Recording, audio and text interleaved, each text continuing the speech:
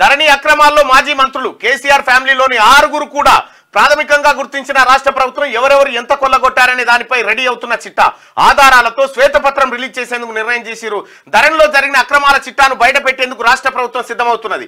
ఇప్పటికే విచారణ కోసం కమిటీ నియమించిన ప్రభుత్వం ఆ కమిటీ నుంచి పూర్తి వివరాలు తెప్పించుకుంటున్నది. లోక్సభ ఎన్నికల తర్వాత జరిగే అసెంబ్లీ సమావేశాల్లో ధరణి పోర్టలు భూ ఆక్రమణలపై శ్వేతపత్రం రిలీజ్ చేయాలని భావిస్తా ఉన్నది.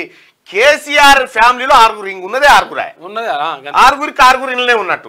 ధరణి అడ్డం పెట్టుకొని వాళ్ళు చేసిన దందాలు పెట్టిన కబ్జాలు మొత్తం చిట్టా తయారైతా ఉందట కేసీఆర్ ఫ్యామిలీకి సంబంధించి మొత్తం లెక్క బయటికి వస్తా ఉంది. లక్షల ఎకరాలు కొల్లగొట్టిండ్రు. లక్షల ఎకరాలే. జరంత కాదాలు